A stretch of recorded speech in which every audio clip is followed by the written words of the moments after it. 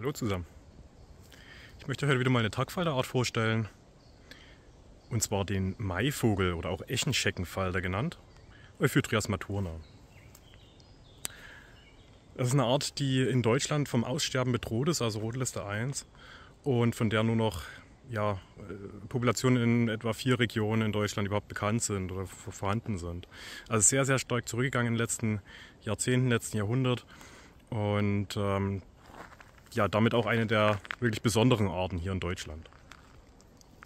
Und ich befinde mich jetzt hier in einem relativ lichten Wald und das stellt gleichzeitig auch ein typisches Habitat für die Art dar, denn die, die Art frisst an Eche in lichten Wäldern. Und das können auch Auwälder sein, wie jetzt hier beispielsweise. Und ich möchte euch einfach gerne mal einen Eindruck vermitteln, wie das Ganze dann aussieht, wenn die Art noch vorkommt. Und das ist hier wirklich ein wunderbares Beispiel gerade. Ähm, ich finde es so schön, deswegen möchte ich euch gerne mal zeigen. Denn, wie wir jetzt vielleicht schon hier im Hintergrund sehen können, hier sieht er überall Falter. Wie gesagt, es handelt sich um eine in Deutschland vom Aussterben bedrohte Art, also die wirklich nur in einer Handvoll Flächen überhaupt vorkommt. Trotzdem haben wir hier Dichten, die ich wirklich ganz, ganz besonders finde und ich euch einfach mal zeigen wollte. Ich kann vielleicht die Kamera am besten mal drehen, vielleicht sieht man es da besser. Ähm, genau, also hier sehen wir jetzt schon die Tiere wegfliegen. Das ist eben der Maivogel. Wir sehen es hier im Hintergrund. Die Falter lieben Blüten. Und wenn jetzt die Sonnenstrahlen rauskommen, es ist heute ein relativ ja, trüber Tag, relativ bewölkter Tag, aber wenn jetzt die Sonne rauskommt, dann versammeln sich die Falter auf den Blüten, auf den weißen Blüten, ja zum Beispiel Holunder oder jetzt hier eben diese weißen Doldenblütler, wo sie überall drauf sitzen.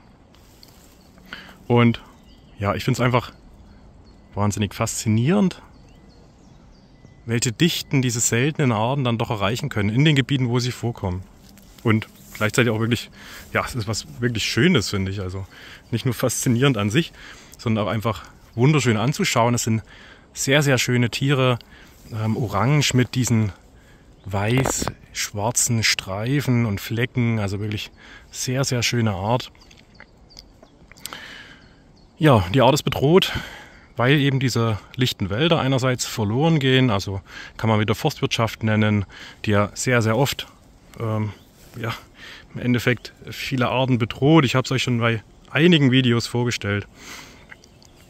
Ähm, ein Problem hier ist auch noch beispielsweise, dass die Esche ähm, von einem Pilz befallen wird und dadurch in den letzten Jahrzehnten schon relativ stark zurückgegangen ist durch das sogenannte Eschensterben.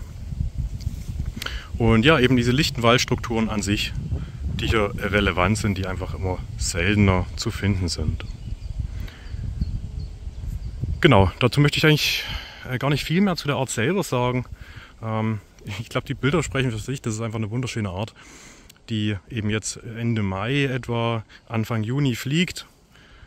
Auch der Name Maivogel. Und